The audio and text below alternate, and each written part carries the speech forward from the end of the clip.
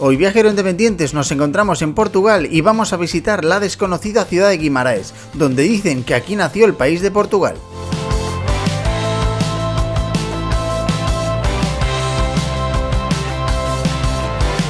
Guimaraes es una ciudad que se encuentra situada al norte del país de Portugal y que nosotros le vamos a dedicar dos días completos porque ya veréis que vale la pena de principio a fin.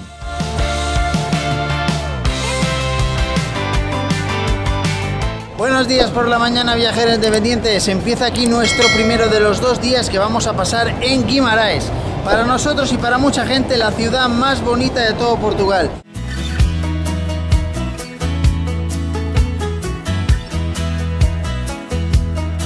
Tiene un casco histórico de verdad muy muy mágico con una gran cantidad de plazas y de fachadas espectaculares.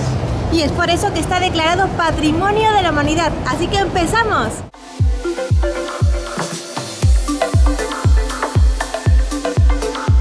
Comenzamos nuestras visitas por Guimarães en la plaza que se conoce como Largo do Toural, que como veis es una plaza alargada llena de fachadas de edificios históricos donde podemos ver las vidrieras típicas del norte del país y que nos pueden recordar a Galicia.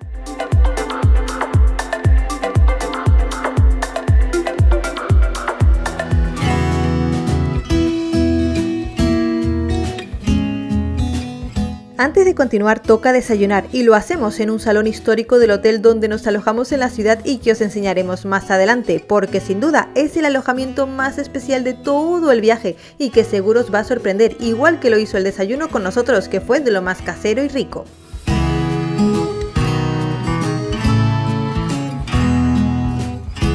Por fin, viajeros independientes, empezamos la visita oficial en Guimaraes y la primera de las paradas va a ser en la zona alta de esta ciudad vamos a visitar el castillo de Guimaraes, que quiere decir que es un castillo que data del siglo X y que curiosamente hizo construir una condesa gallega para que la propia población pudiera refugiarse de los ataques de los musulmanes y los vikingos, ni más ni menos.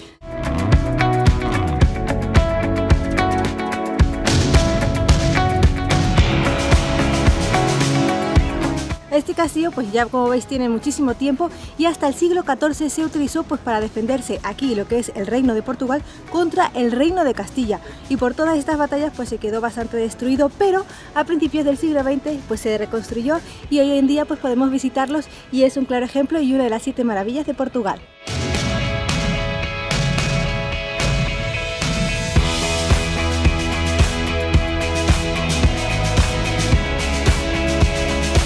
Y ahora toca realizar una de las visitas estrellas de aquí de toda Guimarães y vamos a conocer lo que es el Palacio de los Duques de Braganza, que es un edificio histórico del siglo XV y es que mirar tal fue su envergadura que a principios del siglo XX pues aquí fue residencia del presidente de la República de Portugal.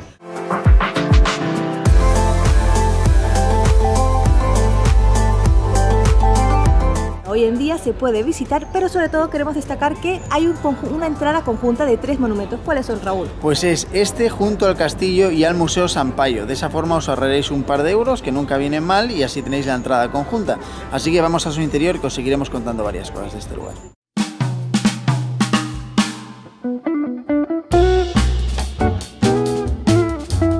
Aunque el interior del Palacio de los Duques de Braganza de Guimaraes ha ido sufriendo cambios a lo largo de los siglos, podemos afirmar que este se construyó en el siglo XV en estilo borgoñés, algo muy típico en plena era medieval.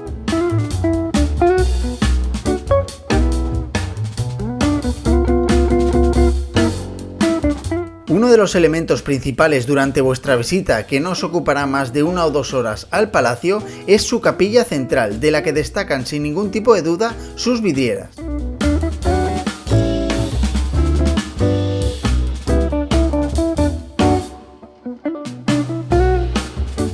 Las malas lenguas cuentan que el duque de Braganza hizo construir este lugar como refugio para albergarse con su amante, y del interior hoy en día destacan sobre todo sus tapices flamencos y sus alfombras persas, ambos con varios siglos de antigüedad.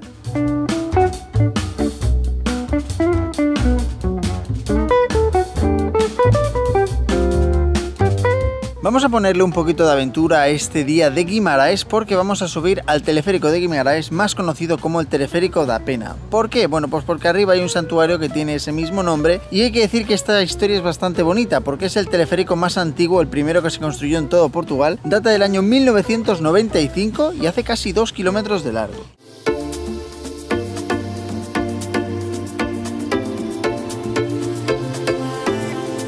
Viajeros, no os preocupéis de que sea el teleférico más antiguo, porque está en muy buen estado de conservación. Lo que sí os podemos decir es que de esta forma os evitáis tener que coger el coche o ir caminando los casi 7 kilómetros de distancia.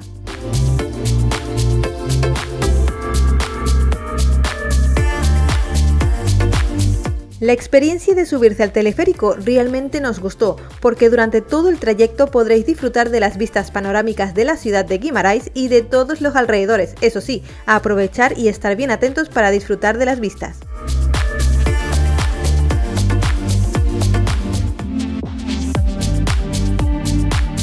Ya hemos llegado al santuario de Apena, que es la visita principal donde te deja el teleférico. Este santuario que sepáis que es de estilo arquitectónico más moderno, construido en el año 1930, hecho casi todo de granito.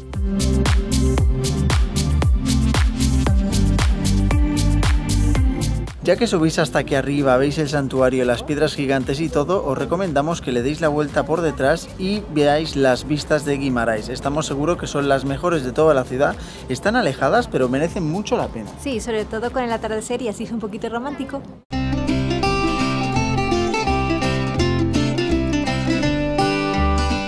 Situado a más de 300 metros de altitud, este es el lugar más alto de toda la ciudad y una vez lo habéis visitado os recomendamos que hagáis alguna de las rutas que se recomiendan por la zona porque este paisaje está repleto de rocas gigantes que crean cuevas y ambientes muy mágicos.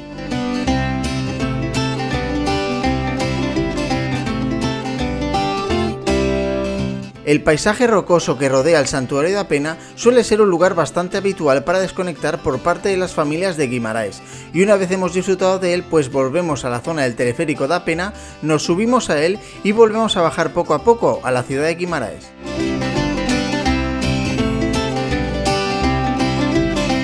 Bajamos de nuevo a la zona histórica de Guimarães y os vamos a enseñar un museo conocido con el nombre de Museo Alberto Sampaio. ¿Y qué es esto? Bueno, pues que sepáis que este museo se encuentra justamente donde antiguamente había un monasterio del siglo X, por lo tanto vamos a ver una arquitectura muy antigua, aunque lo que es el museo data de principios del siglo XX.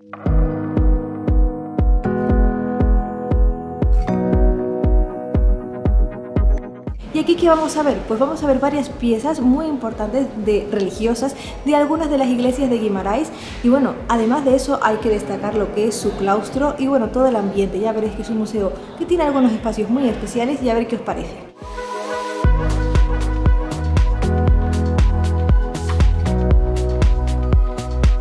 Este museo abrió sus puertas en el año 1928 y desde entonces exhibe la colección que estáis viendo en las imágenes que está repartida en distintas salas.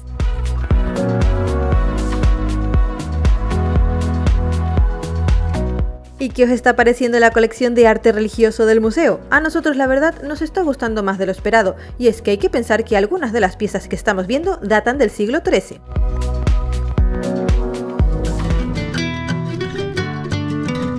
Salimos del museo más visitado de toda la ciudad para disfrutar del casco histórico de Guimarães, que recordar que fue declarada Patrimonio de la Humanidad desde el año 2001 y bien se lo merece.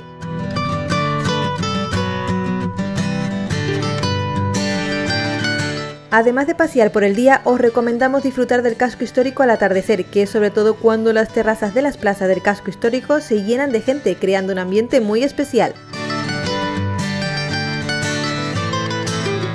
Y llega el momento, viajeros independientes, de llenar nuestros estómagos, pero no de cualquier manera. Lo vamos a hacer en la taberna do Trovador. Hay que decir que es un restaurante muy popular y auténtico, donde vamos a poder degustar algunas de las delicias de Guimarães y del norte. Buenísimo, buenísimo. Aquí vais a salir redonditos, así que preparados.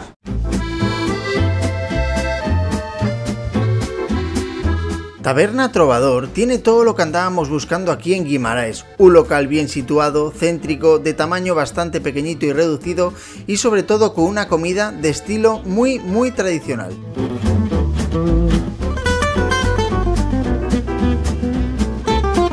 Iniciamos la comida con tres entrantes entre los que cabe destacar el pulpo y el chorizo, ambos realmente deliciosos.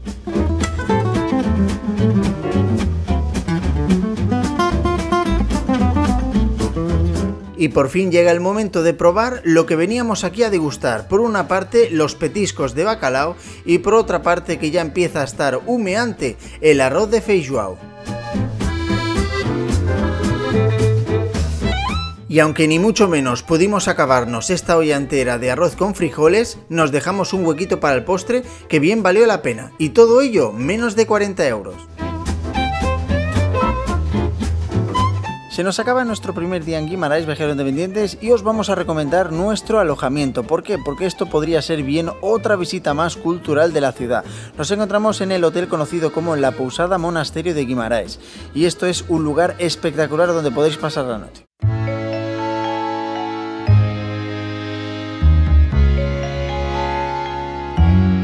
Además hay que resaltar que es un hotel 4 estrellas y como ha dicho Raúl se encuentra en un edificio histórico y es que podréis ver varias salas palaciegas con azulejos, con mobiliario.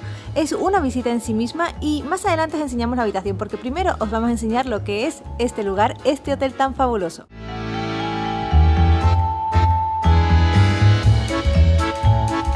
Y sí que fue fabuloso el poder recorrer las diferentes salas y salones del monasterio que os tenemos que decir que es aún más grande de lo que nos esperábamos, por lo que quizás en algún momento os perdáis.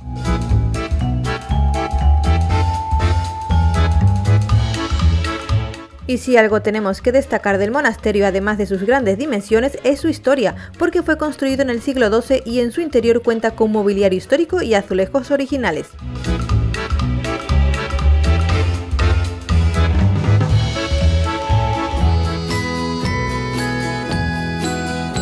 Y después de realizar este completo paseo por las dependencias del monasterio, llega el momento que estabais esperando. Os tenemos que enseñar la impresionante habitación que nos alojó en la ciudad de Guimaraes.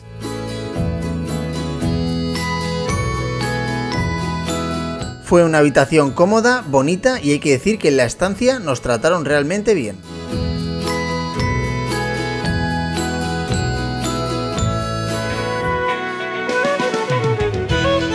Paramos un momento viajeros para mostraros nuestra web Mundo por Descubrir donde hemos publicado una guía completa de Guimarães en la que veréis muchos más lugares y más información práctica como hoteles, tours, entradas para organizar vuestras visitas al completo.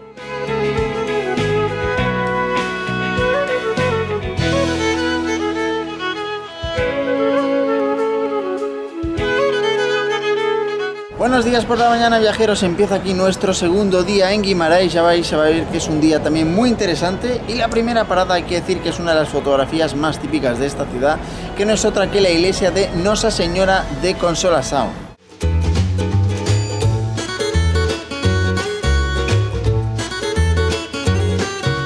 Esta iglesia ya veréis que destaca sobre todo por su estampa y porque es muy vertical por fuera, llena de azulejos y por dentro fijaros bien en lo que son sus vidrieras que son súper súper chulas porque es que esta iglesia es de estilo barroco.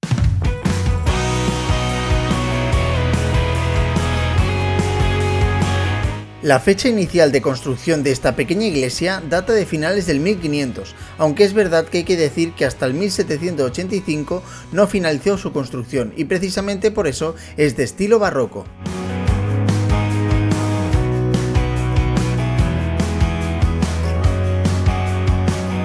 Y seguimos nuestro paseo por el centro de Guimaraes disfrutando una vez más de las calles y plazas que tiene todo este lugar.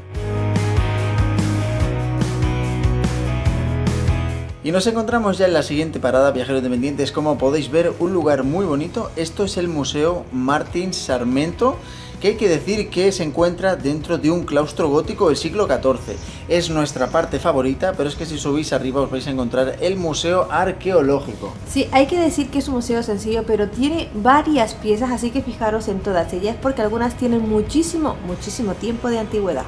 Y además en la parte de arriba también fijaros en lo que es el artesanado de madera del techo, que es precioso.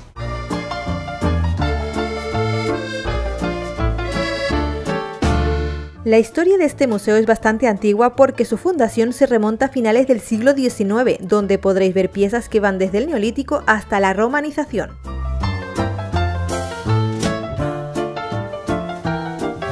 Y es que hay que pensar que el museo alberga una de las mejores colecciones de restos arqueológicos de la cultura celtíbera de la Edad de Hierro en todo Portugal.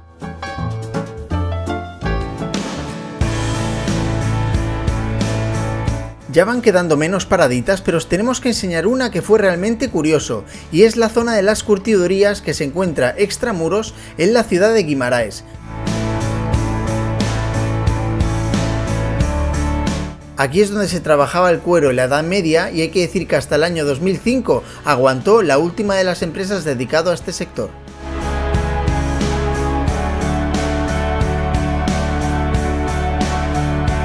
Tristemente, viajeros, nos encontramos ya visitando el último lugar en la ciudad de Guimaraes, y este no es otro que la iglesia Nuestra Señora de Oliveira. Es la iglesia principal de todo el centro y hay que decir que se construyó en el siglo XV.